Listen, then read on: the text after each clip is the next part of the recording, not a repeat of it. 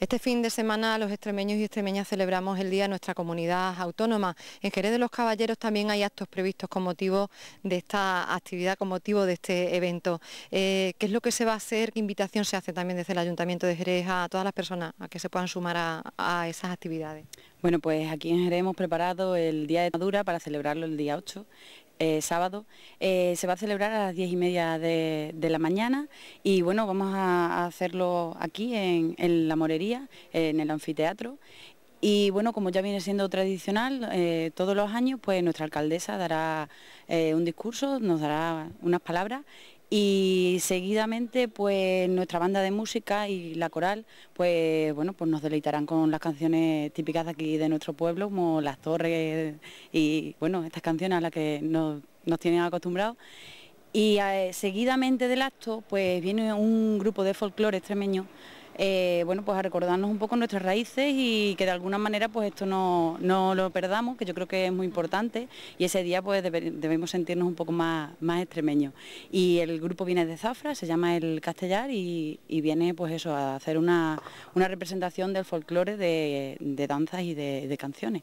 Imaginamos que se habrá hecho como siempre una invitación oficial, digamos, a todas las asociaciones, colectivos que están representados, en este caso en Jerez de los Caballeros, pero eh, extensiva también al resto de ciudadanos. Sí, sí, desde aquí quiero invitar a todo, a todo el que esté aquí en Jerez, pues eso, que se acerque y que vea el acto, que hombre, es una cosa muy interesante y muy nuestra, y yo creo que, bueno, pues deberíamos yo creo que tomarlo por costumbre, el, día de Extremadura, venir todos y, estar todos juntos ese ratito. Además del Día de Extremadura, que es el día 8 de septiembre, coincide este año en sábado, eh, como bien ha mencionado, hay otra serie de actividades que llenan de contenido este fin de semana, casi casi a modo de cierre de lo que está siendo este verano. Sí, pues bueno, tenemos el traslado de nuestra patrona de, la Virgen de Agua Santa y aparte tenemos una exhibición de, doma en la Plaza de Toro que la van a hacer la Asociación de, de Caballistas y el dinero irá destinado a la Asociación contra el Cáncer. Además, eh, la última de estas fiestas, decíamos, nos traslada a la pedanía de Brovales, que desde estos días pues está celebrando también sus fiestas patronales. Sí, sus fiestas, bueno, comienzan el, jueves y terminan el domingo. Va a haber en ellas un montón de, actividades, actividades deportivas, va a haber actividades para los niños.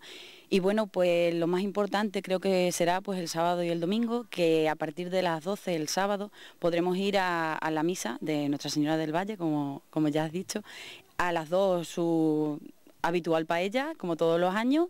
Luego habrá una fiesta de la espuma, eh, la verbena, que vienen los grupos de música, como, como todos los años. Y, bueno, también invito a la gente que cuando terminen aquí que, se acerquen, que estamos muy cerquita y les acompañemos también a ellos en, su fin de semana de fiesta, que para ellos es muy importante.